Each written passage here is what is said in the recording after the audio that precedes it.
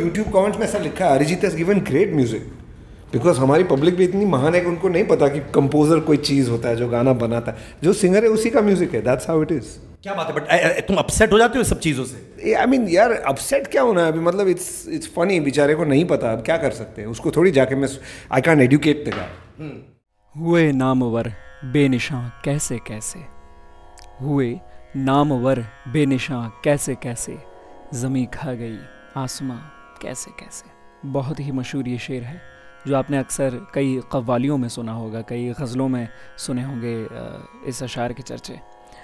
आज इस ही शेर का हम कलाकारों से कैसा संबंध है, उस पर चर्चा मैं करने जा रहा हूँ। इट्स नॉट अ टॉपिक जिससे कोई ट्यूटोरियल नहीं है, जिससे आप सीख सकते हैं, लेकिन एक विचार है, एक बात है, एक डिबेट है, जो मैं शुरू करना चाहता हूँ। कई लोग इस पर बात कर भी रहे हैं ऑलरेडी कई कलाकारों का श्रेय उन्हें नहीं दिया जाता है, जिसके चलते वो बेनिशां हो जाते हैं। यानी हमें पता ही नहीं होता कि ये रचना जो है, उस फलां कलाकार की है और हम उस रचना को गाए बजाए जा रहे हैं और उसका श्रेय हम किसी और कलाकार को दे रहे हैं। इस पर मैंने पहले भी एक वीडियो बनाया था जिसमें मैंने बताया है कि ओरिजिनल्स को आप सुने कवर वर्जन्स सुने, ज़रूर सुने, लेकिन ये न मान लें कि वो जिसने गाया है, जिसने उस गाने का कवर वर्जन किया है ओरिजिनल भी उसी का है। तो उस पर थोड़ी सी रिसर्च आपकी बनती है। तो पूरा वीडियो देखिए आज इस पर मैं कुछ एग्जाम्पल्स देकर चर्चा करने जा रहा हूँ। काम की बात मैंने की नहीं। काम की बात मैंने की नहीं। सबसे पहले तो जो शेर है मैं उसी को समझाने की कोशिश करूँगा, मेरा जो तर्जमा बनता है, मेरा जो इंटरप्रिटेशन है। नामवर यानी जिनके नाम हो सकते थे। नाम चीन जिसे कहते हैं, फेम जिसे कहते हैं प्रख्यात जिसे हम कह सकते हैं हिंदी में। तो जो नामवर हैं, यानी एक्चुअली में उनका नाम होना चाहिए था, वो बेनिशान रह गए। यानी उनका निशान तक किसी को पता नहीं, यानी वो एग्जिस्ट करते थे या नहीं, वो भी नहीं मालूम।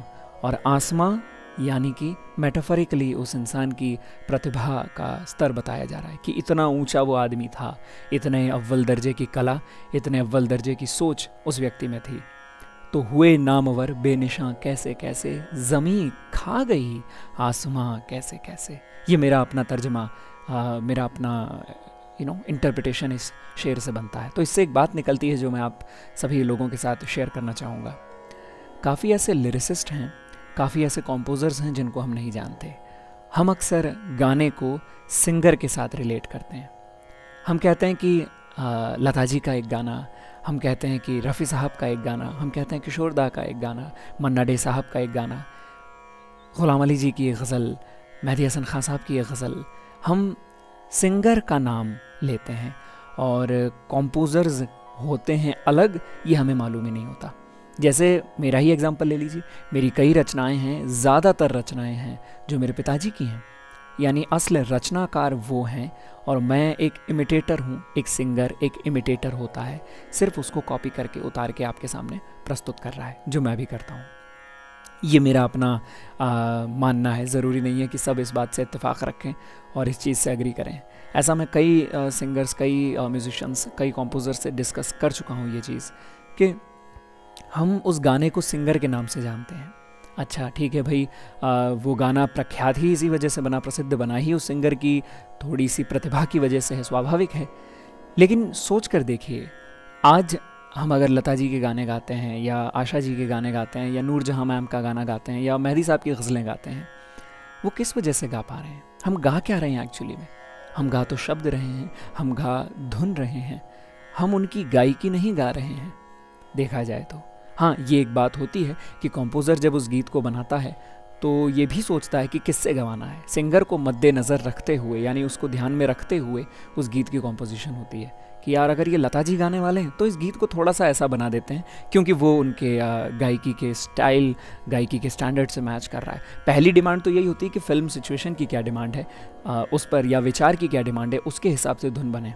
या जैसे मैंने एक वीडियो दिया था ना, जिसमें बताया था कि कॉम्पोजिशन करने के तीन तरीके समझाए थे मैंने कि पहले शब्द लिखे जाते हैं, फिर धुन बनती है, या धुन बन जाती है, फिर शब्द लिखे जाते हैं, और तीसरा कि दोनों ही साथ में उपजते हैं। तो इसमें कई बार ये भी होता है कि सिंगर को मद्देनज़र रखा भी जाता है। अगर उस शब्दकार के शब्द नहीं हो, कोई दूसरे शब्द हो जाते, तब भी क्या वो गीत उतना ही चलता? अगर वो धुन बनाने वाले ने धुन न बनाई होती, किसी और की धुन होती क्या तब भी वो गीत उतना ही चलता? या आवाज़ देने वाले की आवाज़ न होकर किसी और की आवाज़ होती, क्या तब भी वो गीत उतना ही चलता? एक गीत के पीछे ये तीन मुख्य चीज़ें तो होती ही हैं। साजिंदे, उनका भी अपना एक महत्व है। कि जिसने साज बजाए हैं, उसमें इंस्ट्रूमेंट्स बजाए हैं, उनका भी उतना ही महत्व है। और आज की तारीख में देखें तो म्यूज़िक प्रोडक्शन और अरेंजमेंट ये भी एक एडिशन हो गया है। पहले तो सिर्फ़ इतना ही था कि एक गाने वाला है, एक हारमोनियम तबला बजाने वाला या सितार या सारंगी बजाने वाले हैं और उसके बाद बस उनको श्रेय चला जाता था। लेकिन आज की तारीख में एक गाना बनाने में बहुत से लोग इन्वॉल्व हैं। तो क्या ऐसा है कि सिर्फ़ सिंगर या सिर्फ़ कॉम्पोज़र या सिर्फ़ लिरिसिस्ट की वजह से वो गाना चल रहा है, या बाकी लोगों का भी योगदान है। या आज की तारीख में कहें तो म्यूज़िक वीडियोस का ज़माना है तो क्या उसमें जो एक्ट करने वाला हीरो है, उसका भी बड़ा योगदान है। तो ये बड़ी ही कॉम्प्लिकेटेड और सोचने विचारने वाली चीज़ है, और ये इस पर मैं बात इसीलिए कर रहा हूँ बिकॉज़ हम भी तो एक सिंगर हैं। हम भी तो अपना गाना जो है सभी लोगों को सुनाने की कोशिश कर रहे हैं। तो हमें श्रेय किसको कितना देना चाहिए, किसका कितना योगदान होता है, वो जान लेना भी ज़रूरी है। सिर्फ़ ये नहीं होता है कि हीरो का दारोमदार होता है, मेन एक्टर, लीड एक्टर का दारोमदार होता है कि वो पिक्चर चलेगी या नहीं चलेगी। अगर उसमें स्टोरी नहीं है, स्क्रिप्टिंग अच्छी नहीं है, स्क्रीन प्ले अच्छा नहीं है, एग्जीक्यूशन अच्छा नहीं है प्रमोशन अच्छा नहीं है, तब भी वो पिक्चर नहीं चल पाती, मूवी नहीं चल पाती है। तो इसमें दोष आप हीरो को नहीं दे सकते। और कई बार उस पर दारोमदार आ जाता है। हाल ही में मैं शाहरुख खान साहब का एक इंटरव्यू देख रहा था, उसमें वो बोले कि बीइंग अ सुपरस्टार ये मेरी ज़िम्मेदारी बन जाती है कई बार कि वो मूवी मेरी वजह से चलेगी। तो ये कई बार बर्डन भी हो जाता है और कई बार जब नहीं चलती तो दोष, दोषारोपण सीधा आ जाता है कि, अरे, शाहरुख खान की पिक्चर नहीं चली। जबकि वो मूवी शाहरुख खान ने लिखी नहीं थी, वो कंप्लीट उसकी रचना नहीं थी। है ना? जैसे हाल हाल ही में एक, मेरे दोस्त के साथ ऐसे ही हास्य विनोद, थोड़ा मज़ाक की बात चल रही थी तो उसने बोला कि आपको पता है महाभारत किसने लिखी है? तो मैंने कहा हाँ महर्षि वेद व्यास जी ने लिखी है। बोले, नहीं, महाभारत तो गणेश जी ने लिखी थी। तब मैंने उसको बताया, समझाया कि भाई, गणपति जी ने, गणेश जी ने तो सिर्फ़ स्क्रिप्टिंग करी है, लिखा है, बोली तो महर्षि व्यास जी ने, है ना? तो लिखना जो है वो यहाँ से नहीं हो रहा है। ऐसे तो मैं भी लिख सकता हूँ, महाभारत, मैं भी टाइप कर सकता हूँ। लिखना यहाँ से है क्रिएशन सोच है। जिस पर ए आर रहमान साहब का भी हाल ही में जो ये गानों का रिक्रिएशन हो रहा है, उस पर उन्होंने बोला था कि आप रिक्रिएशन कैसे कर सकते हैं किसी गाने का? आप बोलते हैं कि मैं री इमेजिन कर रहा हूँ कि वो कॉम्पोज़र की जो धुन है। आप होते कौन है री इमेजिन करने वाले? उसकी उसकी एक रचना थी, उसकी एक सोच थी, उसकी एक फ़िलासफ़ी थी उस गाने के पीछे। आपने उसको बदल दिया? तो ये इनजस्टिस होती है, बड़ा ही अनफेयर मामला है। What happens to you when you stumble upon somebody remaking your song or you hear a piece of somebody trying to do a DJ version of it or a, or a studio version of it? What is your take on that? I think that the more I see all this stuff, I think it gets distorted. Mm. You know, what the intention of a composer gets distorted. People say, I'm reimagined. Well, who are you to reimagine stuff? mm. So even I'm careful of it, taking somebody else's work. We have to be respectful. And uh, I think that's the gray area. We need to sort that out. तो ये कुछ बातें हैं जो जान लेना ज़रूरी हैं। जैसे कि उस्ताद रफ़ीक हुसैन खान साहब, ये एक बड़े ही फ़ेमस कॉम्पोज़र हैं जिनके बारे में मैं भी नहीं जानता था। मुझे लगता था कि ग़ुलाम अली साहब की सारी कॉम्पोजिशंस ग़ुलाम अली साहब की होती हैं बिकॉज़ वो एक कॉम्पोज़र भी हैं। जिस तरह से मैं हूँ, मैं एक गाना भी गाता हूँ, मैं कंपोज भी करता हूँ, मैं लिखता भी हूँ। लेकिन जितनी कॉम्पोजिशंस मैं गाता हूँ, वो सारी मेरी नहीं होती हैं। उसमें से अधिकतर मेरे पिताजी की हैं। या हाल ही में मैंने अपने किसी फ्रेंड की कॉम्पोजिशन भी गाई, मेरे गुरुओं की कॉम्पोजिशंस भी गाई, मेरी अपनी भी गाई। गुलाम अली जी रफीक भाई के कॉम्पोजिशन इतने खूबसूरत गाए हैं। किस किस का नाम दू? क्या है? मतलब किस्सा है मेहरो वफा। करू न याद। वही पलकों का झपकना। तमाम उम्र। कितने खूबसूरत कॉम्पोजिशंस क्या वैरायटी है? दयारे दिल। बल्कि एक मेरी और गुलाम अली साहब की कैसेट आई थी, जो बहुत मकबूल पूरी दुनिया में हुई। दिल डोलदा। उसमें मैंने ग़ुलाम अली साहब के साथ जूट जो गाए थे, वो सारी ट्यूनें उनकी थी। लेकिन उनके साथ एक बड़ा, जो ट्रेजडी हुई है कि पहला नंबर जो आया उस सीडी का, कैसेट का, उसमें उनका नाम नहीं था। ये बड़े अफसोस की बात है, मेरा भी नाम नहीं था। मैं ये नहीं कह रही कि उनका ये अकेले का, मेरा भी नाम नहीं था, लेकिन ये ग़ुलाम अली साहब ने बहुत ज़्यादती की। दूसरे, तीसरे नंबर पे आके फिर जब हमने एहतजाज किया तो हमारा नाम दिया, रफ़ीक साहब का नाम भी दिया, मेरा नाम भी दिया। तो वो जान लेना ज़रूरी है कि हम एक्चुअली में उन्हीं शब्दों को, उन्हीं रचनाओं को गा रहे हैं, जो किसी के यहाँ से उपजी हैं। गले या आवाज़ देने वाले तो बदलते रहते हैं। वही एक सिंगर के वही एक गाने के अलग अलग वर्जन्स भी तो होते हैं। यही किशोरदा ने गाया यही परवीन सुल्ताना जी ने गाया वही गाना मन्ना डे जी ने भी गाया हुआ है। तो एक सिंगर मेरे ख्याल से एक इमिटेटर एक पपेट है। और एक सिंगर को गवाने वाला होता है। ये ख्याल देने वाली बात है। ये नहीं कि वो गाना जिसने गा दिया, आप उसकी तारीफ़ में लग जाएँ कि क्या बात है, क्या गाया है तुमने। नहीं, एक सिंगर को गवाने वाला उसका म्यूज़िक डायरेक्टर होता है। उसने डायरेक्शंस दी हैं कि इस इस तरह से तुम्हें गाना होगा। तब जाके वो सामने आया है। एक एक्टर, एक अभिनेता के पीछे एक डायरेक्टर होता है। तो गाने वाले को सब जानते हैं, गवाने वाले को नहीं जानते। हुए नामवर बेनिशां कैसे कैसे तो ये नहीं होना चाहिए। जितने लोग हैं, उसमें इन्वॉल्व हैं, जो रचनाकार हैं, असल, उनको जानो, उनको श्रेय आप दो, क्योंकि असल रचना उनकी है, वो वो विचार उनका है। जब आप सुनते हैं, ऐ मेरे वतन के लोगों, ज़रा आँख में भर लो पानी। तो ज़रा सोचिए, कवि प्रदीप जी के कलम से निकले गए ये शब्द हैं जो हमारे दिल को छूते हैं। हाँ स्वाभाविक है बट ऑफ़ कोर्स बिल्कुल भी डिनाई नहीं कर रहा हूँ कि लता जी की मधुर और मार्मिक आवाज़ ने इस गीत में जान दी। लेकिन वो गीत में जान देने के लिए उसके शब्द होने ज़रूरी थे और वो शब्द कवि प्रदीप जी के थे। पास हमारे पल्ले लता बाई आई। अब लता बाई को हमको जोशीला गाना तो दे नहीं सकते। शुरू में हमने पहली दो लाइन लिखी कि, ए मेरे वतन के लोगों जरा आँख में भर लो पानी। जो शहीद हुए हैं, उनकी जरा याद करो कुर्बानी। इसी तरह से जैसे मनोज मुंतशिर जी हैं, जो आज के फ़िल्म के लेखक हैं, या इरशाद कामिल साहब हैं, या स्वानंद किरकिरे जी हैं, ये लेखकों के नाम हैं, उनको भी जानिए वो वो कहानी किसकी है? जब फ़िल्म को आप देख कर आते हैं और कहते हैं, अरे यार, शाहरुख खान की पिक्चर थी, या अमिताभ बच्चन साहब की पिक्चर थी। उनमें एक्ट किया है उन्होंने। उस किरदार को जीवित करने में उनका हाथ है। उस किरदार को लिखा किसने था? वो किरदार किसकी रचना थी? तो मुझे ऐसा लगता है कि जो कंपोजर्स हैं, उनकी रचनाएँ ही आज हम गा रहे हैं आज मैं गाता हूँ या कोई और गाता है या कोई और गाता है जो कवर वर्जन्स बनते हैं। हाँ ये होता है कि एक सिंगर के एक फ़ैन बेस होता है। तो उस वजह से वो गाना थोड़ा ज़्यादा प्रसिद्ध हो जाता है, लेकिन उस गाने की जो मर्म है, वो उसके लेखक, वो उसके संगीतकार का होता है। गायक भी अगर उसमें कुछ इनपुट दे रहा है तो वो उसके अंदर का संगीतकार ही है, वो उसके अंदर का डायरेक्टर ही है।